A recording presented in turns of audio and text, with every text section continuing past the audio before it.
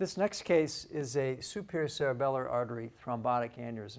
The uh, MRI shows this layered uh, appearance, different layers of thrombus within the aneurysm itself.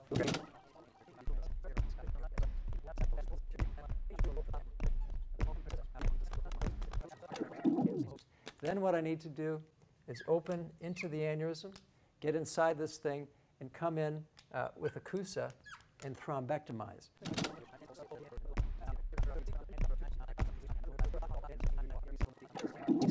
This now is the CUSA coming in, and uh, this quickly uh, uh, liquefies or breaks down that clot. And this uh, is a nice way to take care of this very difficult low riding SCA aneurysm.